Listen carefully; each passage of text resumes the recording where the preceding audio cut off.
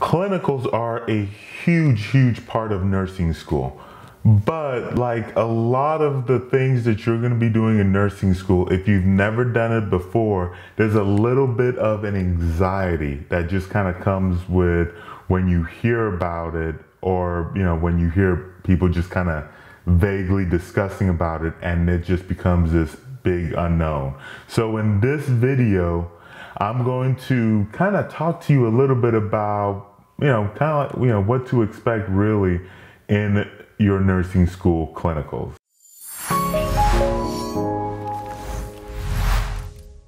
Hey guys, this is Thomas from Nurse Money Talk, and like I already mentioned in the intro, let's talk about clinicals, specifically your nursing school clinicals, and roughly what you can expect from the whole experience. Before I get started though, if you if at the end you find this video helpful, don't forget to hit that thumbs up and don't forget to subscribe if you don't want to miss any of my upcoming videos about being a nursing student and just in general nursing nurse life. Let's go ahead and get started. Now, like clinicals are aren't interesting. Like from my experience, I had I had good clinicals, I had bad clinicals. I had good clinicals in the sense of like I really, really enjoyed the specialty area that I was in.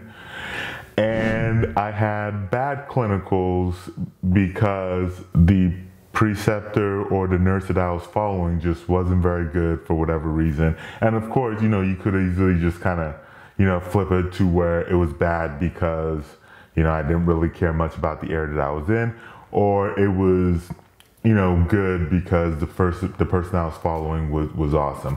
I think there's a lot of things that can make or break your nursing your nursing school clinical experience. I think the thing to know about clinicals is that it's going to be scary at first. Honestly, I think it's probably going to be scary, you know, your first several runs into it because because it almost seems like as you get so like your first one actually let me start here. Your first one where you if you've never been in a hospital setting before maybe you've never really been in a hospital or you've never worked in, in a hospital before it can be kind of weird you know there's sick people or hurting people all over the place. You know there's kind of like this high stress and adrenaline that comes from it.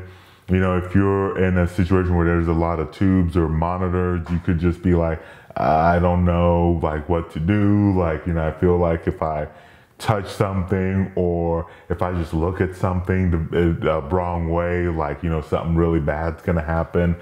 And I think for the most part, you know, those are very gonna be very normal experiences and you are probably gonna have that those experience, you know, that nervous feeling. Something to keep in mind is that, you know, I think a lot of that will just kind of go away as you, you know, with time, as you kind of get more into the program, as you kind of get more knowledgeable about the stuff around you. And, you know, as you just kind of get more knowledgeable in general, just kind of feel more confident in what, in what you're doing. But at the same time, it almost seems like you never quite get that comfortable because like you know you're you're going through a lot of different rotation sites. And so it, it almost seems like as soon as you get comfortable ish then you're off to another another like clinical rotation. And so and so i feel like that a little bit of kind of like that nervousness is is just going to be there. But the thing about it though clinicals is like if you're the type of person that you really love working with your hands on. You really love just kind of seeing. Like textbook is just not enough for you. Then I think, you know, you'll you'll probably really love clinicals. You know, so now instead of, you know, passing meds, Foleys, IV starts, you know, some of those good stuff, those you, those aren't just theoretical anymore. You know, now they're actually like the practical hands-on stuff because here's the thing you can learn and be taught all these things especially the skills portion of it all day long And to me, like you don't really start grasping it until you actually get down there and start doing those skills. Not saying that the, you know, the classroom teaching isn't valuable. I'm just saying that like really it doesn't just, it doesn't get brought all together until you actually get to the clinicals. And I think that's what clinicals clinicals does that it really just starts bringing and tying everything together. In a nutshell, it is a hands-on practicum.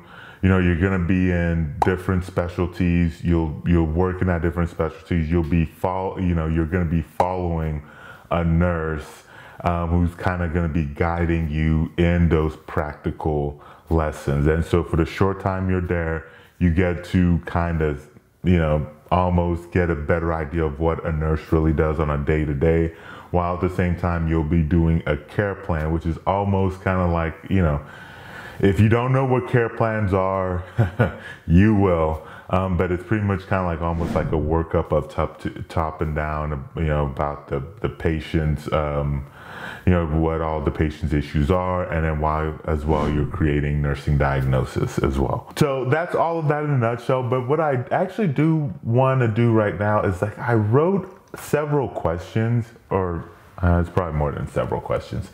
And so I'm going to read and actually answer um, some of those questions. These are either questions that have been, you know, questions that I think you might have as a student, or also questions that um, that other students have either asked either through my website at nursemoneytalk.com or through email or like when I've precepted nursing students, just kind of like some, or people thinking about going to nursing, just kind of like some of the questions that have been asked. As a side note, if you do have a question and I don't answer it here, then leave it in the comment section below and, uh, you know, now I'll, I'll get back to it. And so, you know, you can get your question answered. And also, you know, anybody else that comes across this video will hopefully see it and then get, you know, get that answered as well. But the first one is actually, I'm gonna throw how do I pass nursing school clinicals? Can I actually fail nursing school clinicals? And how are nursing school clinicals graded all in one bucket. Pretty much because you know how you pass is essentially how it's also graded. It's pretty much attendance, participation, how prepared you know you actually are for what you're doing and of course doing care plans or any other assignments or homeworks you might have those essentially make up with um, how you're, you're going to end up passing part of that is making sure that you show up on time um, especially if you're going to a, a, facility that you've never been to before. It's really, really good to make sure you're there early because at times where you'll be parking and where staff, honestly, nursing staff park in general, who knows how, how long away it is from the actual um, facility. So you'll want ample, ample time to be able to park, get there. Um, being early is better than being late. So, because that will definitely cause a, a lot of issues for you. You know, participation, make sure you participate, make sure that you're, um, that you're prepared as well. So participation, you know, clinicals, if you, you know, the saying like you'll get as much out of it as you actually put into it is kind of half correct for this as well.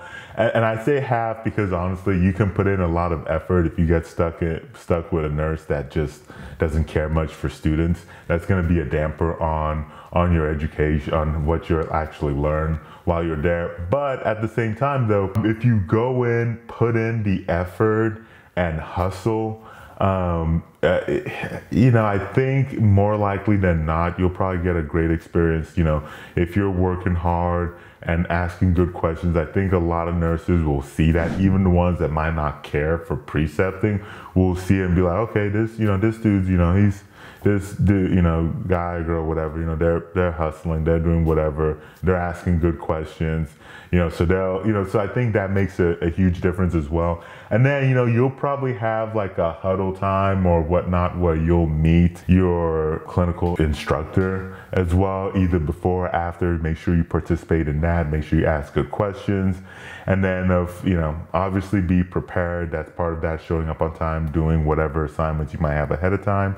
And then, of course, homework, care plans, those are going to be a big chunk of that. So make sure that, you know, that you're actually getting those done. What are the clinical instructors like? So do your nursing school instructors and honestly, from my experience and from, you know, having precepted, uh, you know, a lot of nursing students, um, you know, work, had a lot of nursing students follow me, have talked to and interacted with a lot of, uh, ner- like clinical, uh, clinical instructors.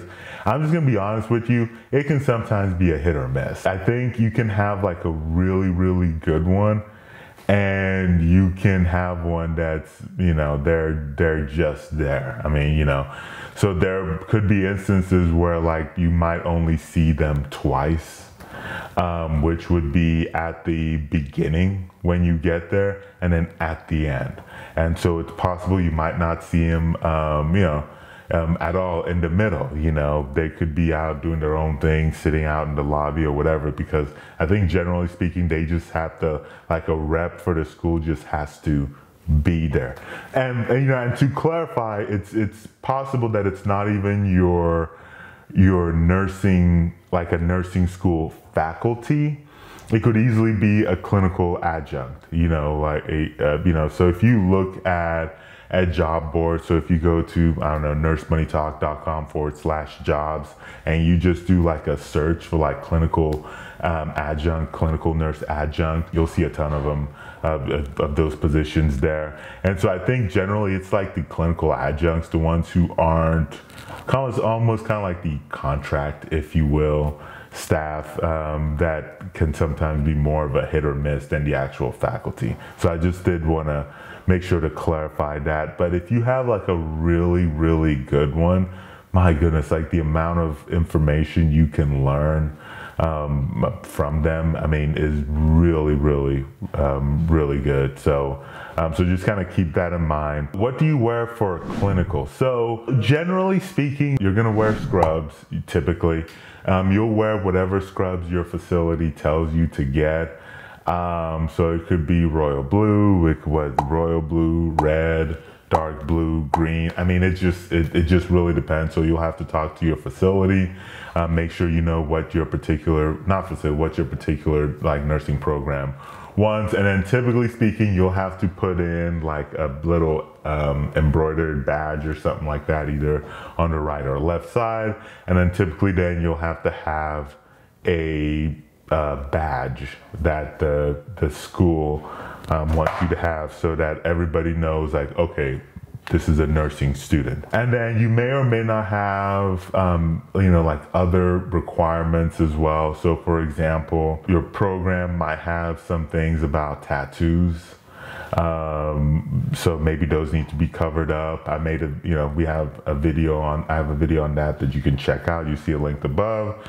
Um, they might have some stuff about, um, you know, maybe like hairstyle, um, which, you know, you'll see that above. And then also jewelry as well. You'll also see a video on that above and you'll also see it in, in the link description below of just kind of checking out those videos because different programs will have different requirements for that and so it's kind of important that you know for sure what your school's uniform requirements are because I would imagine that they probably have something. Also don't forget about shoes um, as well. Um, in terms of they might may or may not have requirements, I'm not sure how many programs are now actually have like color shoe color requirements.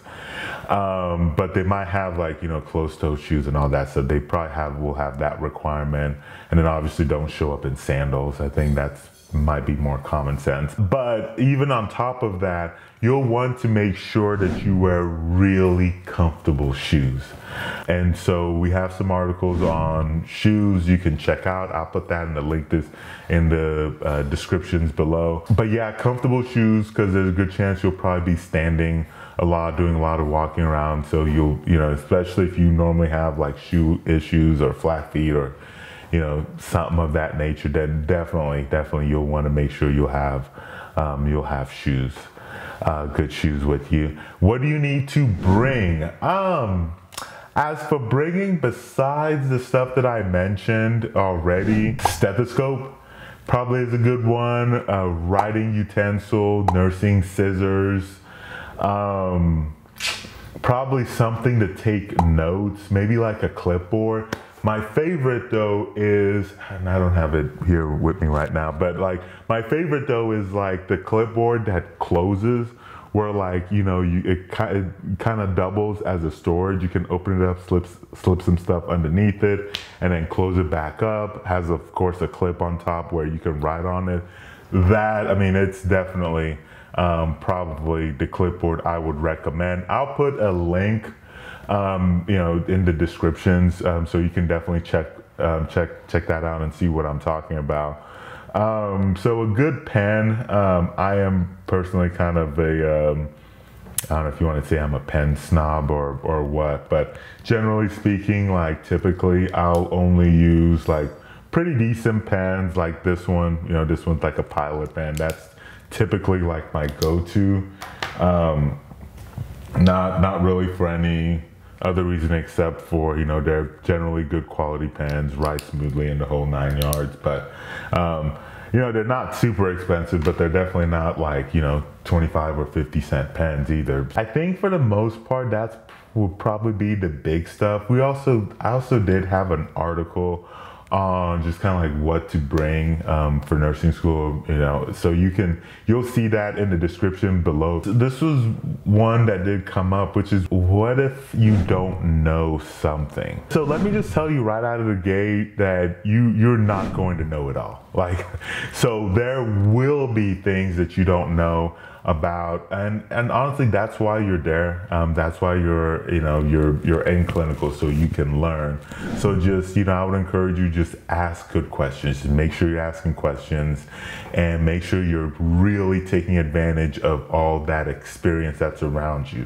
You know you walk in if you're doing like i don't know like an icu clinical and you happen to see respiratory therapists there you know maybe they're working with a vent. You know obviously if they're not like overly busy and something urgent, that maybe just be like, hey, you know, can you explain a little bit about what's going on with the vents for me?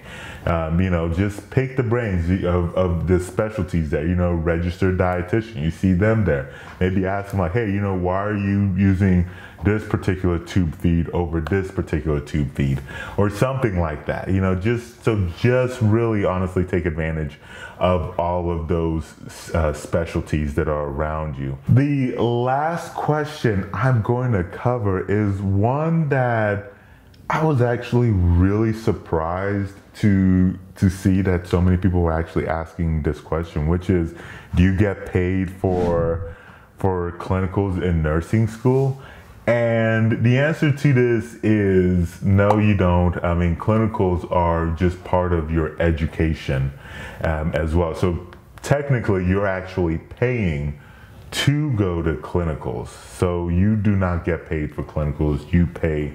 Um, um, you you actually pay the facility, uh, or no, you pay the school, and then I don't know what all arrangements works um, works with that. So those are the specific questions that I'm um, that you know that I kind of want to cover for this. If you have like a bunch of questions that you have um, that you want to ask, I mean. Uh, you know, so so let me know. Like, if you want like a part two made, I can definitely make a, a part two to this video. So just let me know in the comment sections below. Uh, thank you so much for, for taking the time to watch this video. Don't forget to hit that thumbs up button as well. And, and if you think somebody else is gonna find this video helpful, uh, please please go ahead and and share the video as well. Um, real quick though, over here to my left, you are going to see some other awesome videos that we have just kind of talking about nursing school, the nursing program, and even some, you know, you might see one where, you know, where we're talking about like how to be successful, how to pass nursing school exams. So once again, thank you so much for watching. I'll catch you very soon in that next video.